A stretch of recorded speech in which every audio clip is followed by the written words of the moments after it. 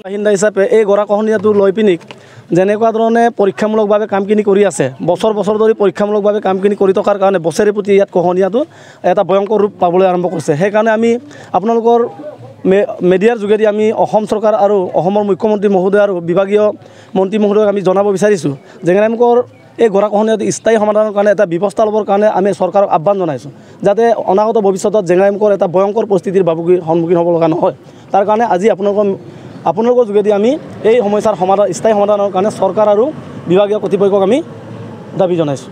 পৰিতাপৰ বিষয় যে যোৱা বছৰে জেঙেৰামুখৰ নিচেই কাষতে লাগি থকা আৰু মেইন ৰাস্তাৰ কাষতে লাগি থকা ঘৰ নদীৰ কাষতে ফেৰকটীয়া নদীৰ সোঁতৰ কোবলত আপোনাৰ এক বিঘামান প্ৰায় মাটি নদীৰ বুকত যোৱা যায়। কিন্তু সেই একেখিনি সময়তে বাৰিষা কালত তেতিয়া বিভাগীয় কৰ্তৃপক্ষই যি জোৰা টাপলি মাৰি পিনি বস্তা কেইটামান পেলালে কিন্তু কামটো তেওঁলোকে সমাধান নকৰিলে তাতে আধৰুৱা ৰাখিলে। পুনৰ এই বছৰ আকৌ সেই একেখিনি ঠাইতে আকৌ গৰাখহনীয়া কৰিলে তাতে আকৌ মাটি খহাই গ'ল। এই বস্তুটো তেখেতলোকৰ মানে পৰম্পৰাগতে চলি আছে।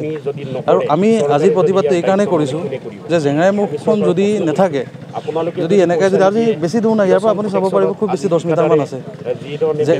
জেংৰাইমুখৰ নব্বৈ শতাংশ মানুহ জেংৰাইমুখৰ ওপৰত ভিত্তি কৰি পিনি জীয়াই আছে। ইয়াতে বেপাৰ বাণিজ্য কৰি পিনি জীয়াই আছে। এই জেগাডোখৰ যদি নাথাকে আমি ক'ত যাম? কি কৰিম? কি কৰি খাম? সকলোৰেতো এইটো নাথাকে যে এইটো কেপাচিটি নাথাকে যে আমি যোৰহাট যদি ক'ৰবাত গৈ পিনি মাটি কিনি থাকিব আমাৰ আমাৰ চৰকাৰলৈ এইটোৱে দাবী থাকে জেংৰাইমুখ জেংৰাইমুখবাসী হিচাপে আৰু স্থানীয় ৰাইজ হিচাপে আৰু ভুক্তভোগী হিচাপে। যে তেখেতলোকে আমাৰ গৰাখহনীয়া সমস্যা স্থায়ী সমাধান দিয়ক আৰু প্ৰতিষ্ঠিত কোনো এজন ঠিকাদাৰক কামটো কৰিবলৈ দিয়ক আৰু যাতে সাম- সমস্যাটো স্থায়ীভাৱে সমাধান হয় আৰু একেবাৰে গুৰিৰ পৰা নাইকিয়া হৈ যায়। আৰু কৰিম বুলি ভাবিলে এইখিনি কৰিব পাৰে। তেখেতলোকে ইয়াৰ এইখিনি এই জেগাটোৰ পৰা আপোনাৰ পাৰ্মানেণ্টকৈ বল্ডাৰ পিচিং কৰক আৰু জেগাডোখৰ স্থায়ী সমাধানটো কৰি দিলে আমি বহুত উপকৃত হওঁ আৰু জেঙাই জেঙাইমুখবাসী হিচাপে আমি এইটোৱেই চৰকাৰক দাবী জনাইছোঁ আৰু water research department Pijush Hazarika ডাঙৰীয়ালোকে আমাৰ আহ্বান থাকিলে যে আমাৰ সমস্যাখিনি আপোনালোকে শুনক আৰু আমাৰ এই গৰাখহনীয়া সমস্যাৰ পৰা আমাক পৰিত্ৰাণ কৰাত সহায় কৰক। কথা হ'ল আমাৰ যিটো জেংৰাইমুখ অঞ্চলত জেংৰাইমুখ তিনিআলিৰ নিচে কাষত গৰাকখনি আজি এবছৰ পৰ্যন্ত হ'ল। চৰকাৰে কোনো ধৰণৰ হাতত ব্যৱস্থা লোৱা নাই। মাননীয় ডক্টৰ মন্ত্ৰী পীযুষ হাজৰিকা ডাঙৰীয়া চাই গ'ল যদিও এটকা পইচা আবণ্টন দিয়া নাই। অতি আমি দুখেৰে জনাওঁ অঞ্চলবাসীৰ স্বাৰ্থত যোৱা ইংৰাজী একৈছ সাত দুহেজাৰ তেইছ তাৰিখে এখনি ৰাজহুৱা সভা আহ্বান কৰা হৈছিল। উক্ত ৰাজহুৱা সভাত ৰাইজৰ সৰ্বসন্মতি মৰ্মে আজিৰ পথ অৱৰোধ কাৰ্যসূচী হাতত লোৱা হ'ব বুলি জিলা উপায়ুক্ত মহোদয়াক আমি স্মাৰক পত্ৰ প্ৰদান কৰা হৈছিল যদিও ডি চি মহোদয়ে আজি পৰ্যন্তলৈ গুৰুত্ব লোৱা নাই আৰু কোনো ধৰণৰ আমাক যোগাযোগ কৰা নাই।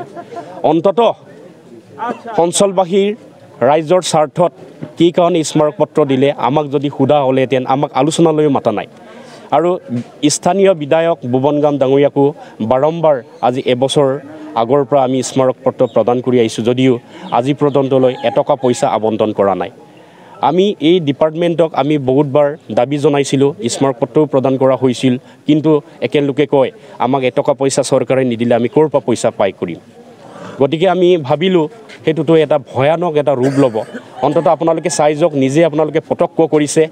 সেইটো ষ্টেট হাইৱে হয় জেংৰাইমুখ তিনিআলি ষ্টেট হাইৱে লাগি আছে। ইয়াৰ পৰা দহ মিটাৰ নিলগত গৰাকখনীয়া হৈ আছে। আজিলৈ কোনো ব্যৱস্থা হাতত লোৱা নাই। সেয়ে আমি মাননীয় মুখ্যমন্ত্ৰী আৰু মাননীয় ডক্টৰ মন্ত্ৰী পীযুষ হাজৰিকা ডাঙৰীয়াক আমি অৱগত কৰিব খুজিছোঁ।